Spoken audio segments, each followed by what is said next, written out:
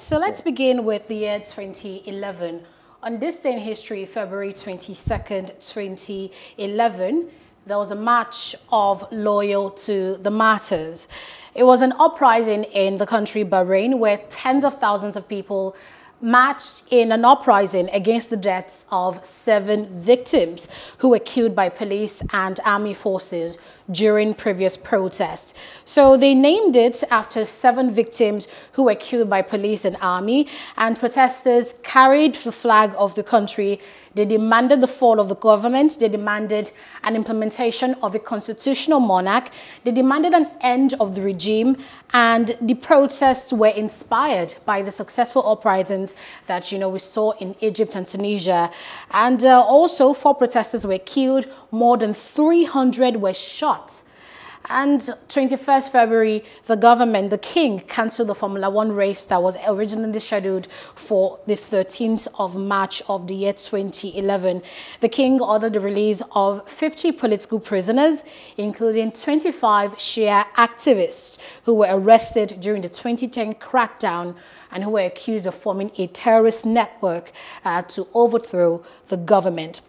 Now, despite, you know, everything, a state of emergency was declared. The government eventually arrested over 1,000 protesters in Bahrain and uh, irrespective of that crackdown, protests continued to hold in the country. And by the year uh, 2012, in April, more than 80 people had died during that uprising in Bahrain. So they've been protesting, you know, just for a change in the government of the country. And that's what happened today in history, February 22, in the year 2011. No, it was actually a very historic moment for people in Bahrain. I mean, you needed to see the videos and the pictures online. Yeah. It was a massive crowd, people coming out just demanding a change in the government. But just a few people came out in Nigeria and we saw what happened, mm. you know. Because uh, in most countries, in saner climes as it were, you know, the right to protest is actually entrenched in the constitution and then this right are respected, which is more than can be said for our own country. Well, even in Bahrain, the police clamped down on them, killed mm. lots of people, okay. you know, eventually. But that's where we are at the mm. moment. All right, also making history. Uh, this morning I was just uh, chit chatting or pre chatting with Aneta before we came on air, and I was like, okay, a sheep is actually making headlines, and um, uh, or made headlines uh, some years ago in 1997, uh, to be precise. In Roslin, uh, a British scientist uh, announced that an adult sheep named Dolly has been successfully cloned. Wow. Now, Dolly was a female domestic sheep and the first mammal cloned from an adult somatic cell uh, using the process of nuclear transfer.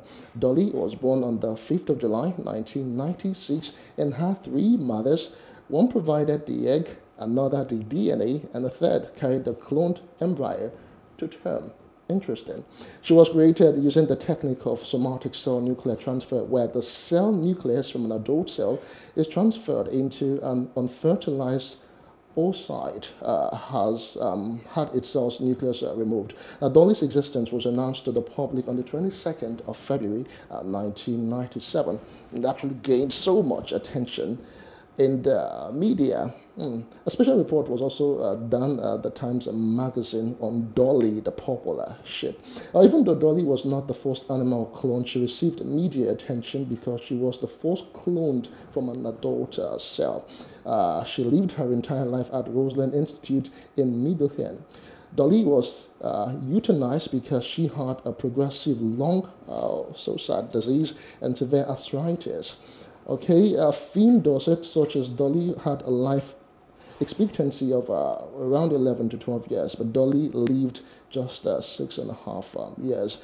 Now, some in the press speculated that a contributing factor to Dolly's death was that she could have been born with a genetic age of six years. Mm. Well, after cloning was successfully demonstrated through the production of Dolly, many other large mammals were cloned, including pigs.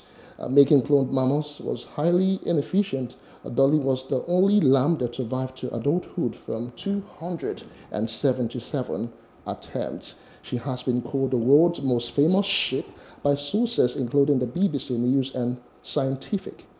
Americans?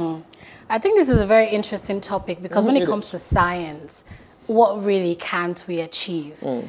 They successfully cloned Dolly the sheep. After that, they cloned pigs. Yes, they did. They cloned mice. They cloned cats. They cloned horses. I really can't wait to see what we can do when it comes to human cloning. They've been trying to do that, unsuccessfully so. Okay. You know, there's still questions as to why know, can't we clone humans, just- even though we've cloned animals. It just cropped in my head now. I mean, they just take some samples from your DNA, and next thing I'll be seeing another Aneta just sitting beside me in the That, middle. that would just be a phenomenal work of science, really. but really, How but would you feel if you were cloned? how would I feel if I were cloned? Hmm. It, it- that would depend if it was with my consent or not. Because imagine if you have a clone of me, You, you give consent. a living, breathing human. And there's another Aneta, maybe this time with long hair. But I think I think people in the Christian or religious groups would, would believe that Yeah. cloning a human being would never be possible because they would you know give arguments about the breath of life that you know God put in us and all Mm. of that. But they've made success when it comes to animals. But who knows what science is left to achieve? Mm. So that's basically what happened today in history, February twenty second, Yeah, yeah. nineteen ninety seven, I believe. 1997, yeah. Dolly the ship, the popular ship. And uh, that's the much we can give you today on Today in History. We'll take a break here to return to bring back Mr. Libros Oshoma to discuss abductions of school children and the business of payment of ransom.